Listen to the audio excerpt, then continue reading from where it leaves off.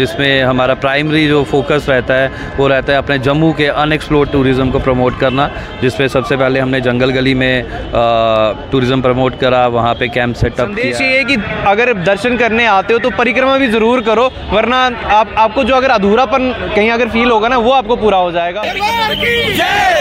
जय करो शेरा वालिदा लोगों ने वेलकम खूबसूरत पहाड़ियाँ मौसम का मिजाज हर बहुत ही एक चीज़ हमारे लिए जो थी नई थी और इतना ज़्यादा मज़ा था कि हमने सोचा नहीं था कि हमें वहाँ पे यात्रा करने का इतना मज़ा आएगा। लोगों ने इतना कुछ हमारे लिए प्रबंध किए हुए थे। करो शेरा वालिदा बोल साचे दरबार की जय। रास्ते में मौसम का मिजाज उसके ओहो। और आसपास जो पहाड़ थे बैक साइड हम त्रिकुटा पर्वत है ना जो माता वैष्णो का उसके हम बैक साइड में थे। जय माता दी। बोल साचे दरबार की। मैं यात्रा हमने पूरी कर ली है। कटरा से ही हमने शुरुआत की थी तो कटरा ही आज मतलब एंड हो चुकी है।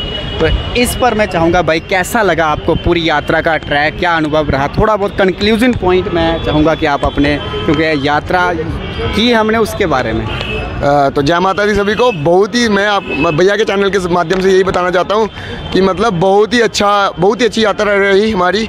और फ़र्स्ट टाइम हुआ है भाई आज तक हिस्ट्री में जे की हिस्ट्री में मतलब जम्मू कश्मीर में फ़र्स्ट टाइम ऐसी यात्रा निकाली गई है। ऑफिशियली मतलब ऑफिशियली कह सकते हैं ऐसे की बंदों ने की होगी क्या पता लेकिन ऑफिशियली ये फ़र्स्ट टाइम था।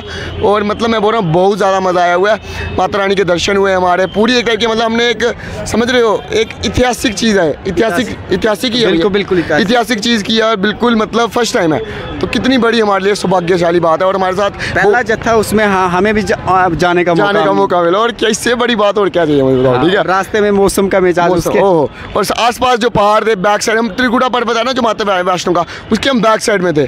तो सोच सकते हो भाई किस हिसाब से भी होगा। माता वैष्णो देखने वाली एक बेस्ट टूरिस्ट प्लेस है मतलब जो माता माता वैष्णो। लेकिन ये भी एक टूरिस्ट प्लेस बनेगी आने वाले टाइम पे और वहाँ के लोगों को भी रोज़गार मिलेगा। और जेके टूरिज़्म जिंदाबाद। जिंदाबाद। Thank you thank you so much अपने रक्ष भाई। परिक्रमा यात्रा हमने पूरी कंप्लीट कर ली है। कटरा से ही हमने शुरू की थी और कटरा पहुँच चुके हैं।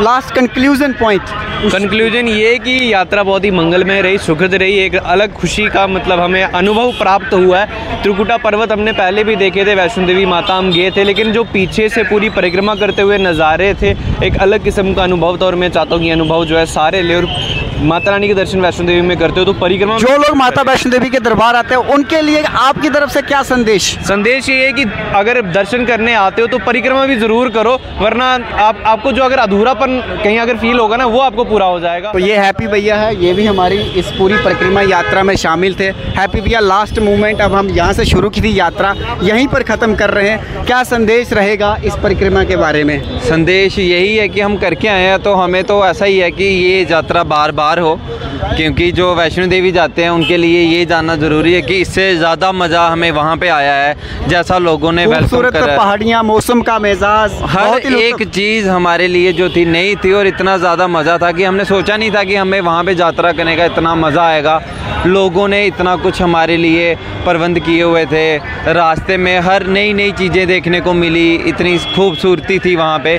मतलब नेक्स्ट लेवल का हर एक चीज़ हमारे लिए अलग आपकी था। तरफ़ से जो माता वैष्णो देवी के दरबार में श्रद्धालु आते हैं क्या संदेश रहेगा? उनके लिए यही है कि अगर आप इतनी दूर से यहाँ पे दर्शन करने के लिए आए हो एक दिन और की बात है ये परिक्रमा पूरी करके आप और ज़्यादा आपको श्रद्धा के साथ और ज़्यादा अच्छा फल मिलेगा और आपको और ज़्यादा मज़ा आएगा क्योंकि ये ना भूलने वाली परिक्रमा थी हमें जिसमें इतना ज़्यादा मज़ा आया हुआ है। ये हैप्पी भाई जो कि यात्रा में हमारे माता वैष्णो देवी की परिक्रमा यात्रा हमने कटरा से शुरू की थी और कटरा ही खत्म हो रही है।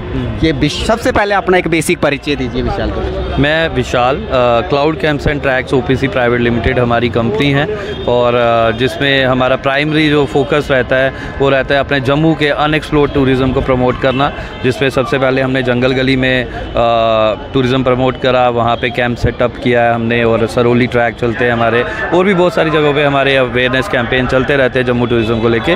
और आज अ, परिक्रमा आज कंक्लूजन चली अभी खत्म हुई यात्रा इस पर आप क्या कहना चाहोगे? यात्रा करके आए पूरा अनुभव थोड़ा सा साझा हाँ, करें। हाँ तो जो आज का मेन मुद्दा है वो है हमारी त्रिकुटा परिक्रमा यात्रा जिसपे कल हमने जुगल किशोर जी ट्रैवल एसोसिएशन कटरा और क्लाउड कैंप्स जो हमारा है इसमें भी हमने बहुत सारे ट्रैकर्स लाए थे तो हमने एक ये त्रिकुटा परिक्रमा यात्रा की है। और बहुत ही मतलब एक सुख में आनंद में एक अपने आप में एक आभास हो रहा है क्योंकि इस तरह के शक्तिपीठ मतलब हम हमारे सबसे बड़े शक्तिपीठों में जो हिंदुओं के वो वैष्णो देवी का स्थान है और इस तरह के शक्तिपीठ की कोई परिक्रमा यात्रा ना होना मतलब अपने आप में एक बहुत दुर्भाग्य की बात थी लेकिन आज हमें बहुत गौरवान्वित फील लग रहा है कि मिलजुल के पहले जत्थे में मतलब हाँ और हमने इस हिस्सा हाँ और इस जत्थे को चलाने में हम हमने हम भी योगदान दे पाए और इस तरह के एक ऐतिहासिक कदम में एक लास्ट मैसेज विशाल भैया जो मतलब कि देश विदेश से माँ के दरबार जम्मू कश्मीर सैलानी आते हैं उनके लिए क्या संदेश? है जो भी सैलानी यहाँ पे आते हैं उनके लिए जैसे वो वैष्णो देवी की यात्रा तो कर ही रहे हैं। लेकिन जिस तरह से ये बात हमने पहले भी बोली कि परिक्रमा का अपना ही महत्व होता है क्योंकि परिक्रमा करने से उस देव स्थान की जो एनर्जी है वो हमारे अंदर आ जाती है और हिंदुओं में तभी भी कोई भी रिचुअल किया जाता है कोई भी आ, आ,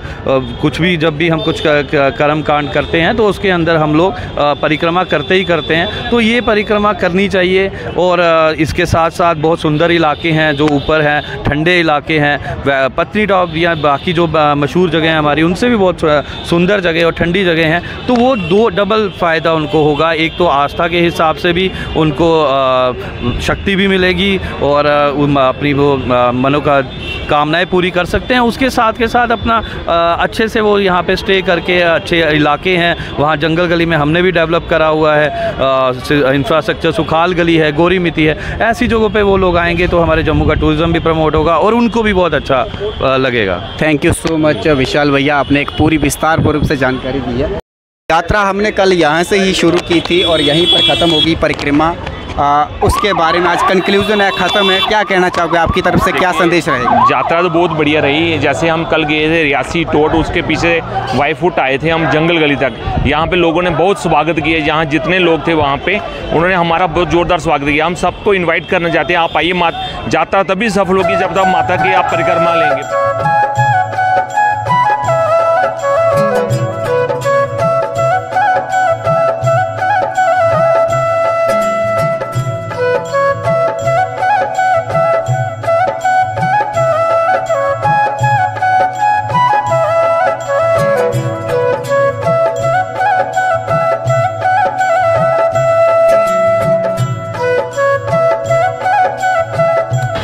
प्रकार से अगर मैं बात करूँ, माता वैष्णो देवी की परिक्रमा यात्रा जो है संपूर्ण हो चुकी है और सभी श्रद्धालु खुश मंगल जो है कटरा से निकले थे और कटरा ही वापस पहुँच चुके हैं। जय माता